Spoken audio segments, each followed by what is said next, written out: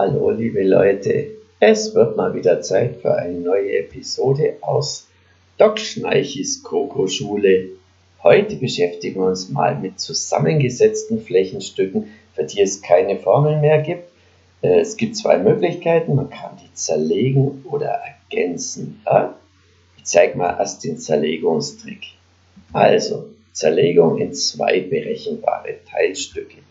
Berechenbar ist nur ja, Quadrat, Rechteck, was haben wir noch? Dreieck, Trapez und Parallelogramm. Wenn wir uns dieses Flächenstück hier mal anschauen, die Idee bei der Zerlegung ist, ich zerlege dieses Teilstück in ein Trapez und ein Rechteck. Schau dir das mal genau an. Ja? So sehe die Schnittlinie aus. Ich zerschneide das praktisch mit einer Schere. Möglichst wenig Bruchstücke sollte man nehmen, denn jedes muss dann einzeln berechnet werden.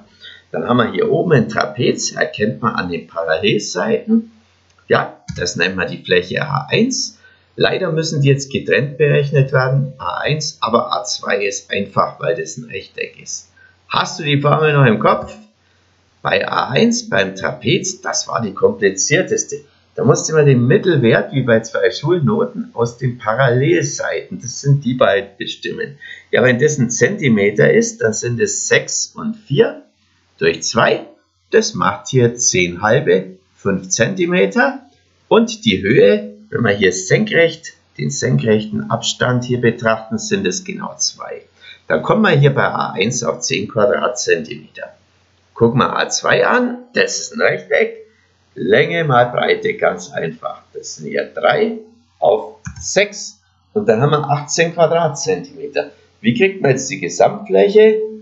Beide zusammen glauben. Wenn ihr das mit so Teilflächen macht, dann kann man den Rechenweg besser nachvollziehen. Ja? Dann sieht man das besser. Die 28 merken wir uns, die dürfen wir jetzt nicht mehr vergessen. Was macht man aber, wenn man die Trapezformel irgendwann im Abitur kommt, es wieder vor? Längst hat man vergessen, was man in der sechsten damals beim Doc Schneiche gelernt hat. Bäh, dann kommt man nicht weiter. Nein, ihr müsst euch jetzt einfach eine neue Strategie überlegen. Machen wir mal Zerlegung in berechenbare Teilstücke, die zweite. Diese Zerlegung ist nämlich nicht immer eindeutig. Ich mache jetzt eins, ich kenne nur noch die Dreiecksformel, die reicht mir auch aus, und das Quadrat.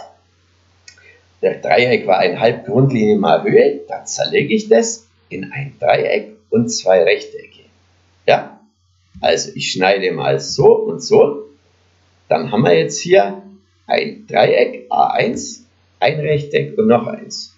Das ist nicht eindeutig.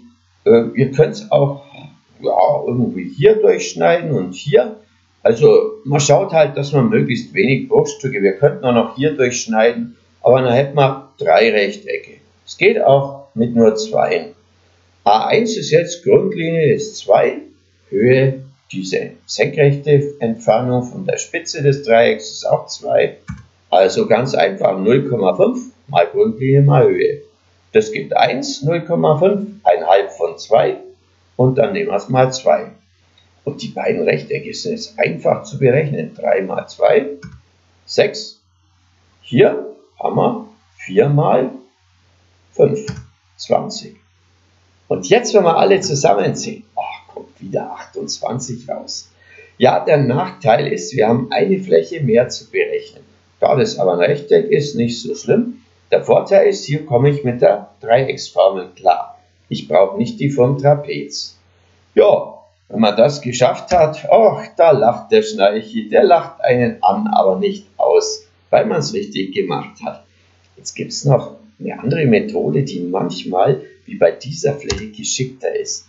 Man kann jetzt nicht nur zerlegen in Teilstücke, man kann das auch ergänzen zu einem Rechteck. Zu einer einfachen Figur sind für uns immer Rechtecke. Wir legen hier eine Länge an und hier eine. Und jetzt sehen wir, die Außenfigur hier ist ein Rechteck. Ich bezeichne den Flächeninhalt mit Groß A. Ja? Der Flächeninhalt ist leicht zu berechnen. Jetzt ist es aber ein bisschen zu viel. Ich habe ja eine Ecke dran gelegt. Da müssen wir halt dieses kleine Dreieck da danach abschneiden von dem Rechteck. Also wenn wir vom Rechteck dieses Dreieck abschneiden, bleibt genau die Fläche. Vorteil ist, wir müssen nur zwei Teilflächen berechnen und müssen sie halt dann abziehen. Die da ist leicht, 6 mal 5, 30, hast du die 28 gemerkt? Das haben wir vorhin schon mal berechnet, hier nämlich. Das ist ein halb mal Grundlinie, Grundlinie mal Höhe. Hier ist das Dreieck halt zu nach unten. Wenn wir das jetzt abziehen, oh, kommen wir wieder auf 28. Drei Wege, alle enden im selben Ziel. Der Philosoph findet manchmal auf einem falschen Weg das richtige Ergebnis. Der Mathematiker macht hier drei Wege. All, wichtig ist an allen drei Wegen, man muss immer am selben Ziel landen. Sonst stimmt es nicht. Und er macht das nach hier, nach Adam Riese, 28 Quadratzentimeter.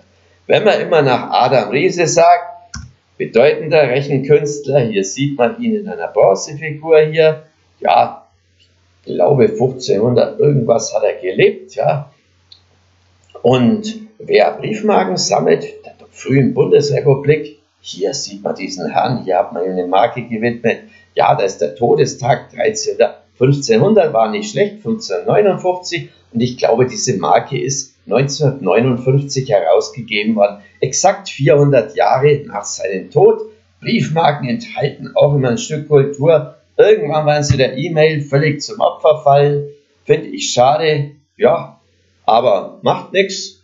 Ich hoffe, das Video hat euch gefallen.